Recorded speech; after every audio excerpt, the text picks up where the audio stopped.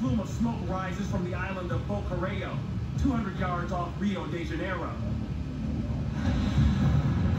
The island is home to the Brazilian Navy's largest ammunition depot.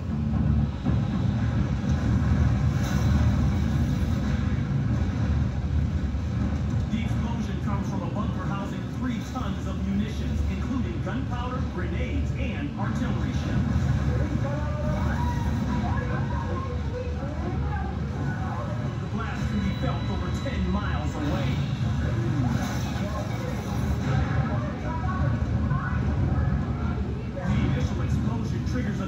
effect, igniting other munition stockpiles.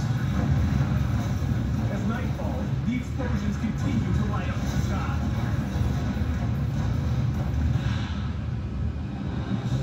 Nervous residents pour out into the streets. News helicopters capture the flaming storage warehouse. But flying missiles and debris keep them at bay. The explosions and fire continue for over five hours, Esta moça passa mal. The next day, the full scope of the destruction can be seen.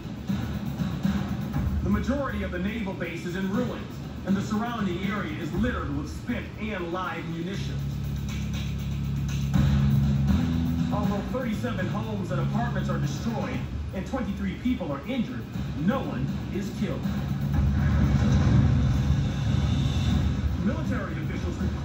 The initial fire was caused by the spontaneous ignition of gunpowder being stored in the depot. That fire then sparked the chain reaction that rocked the tiny island of Boca.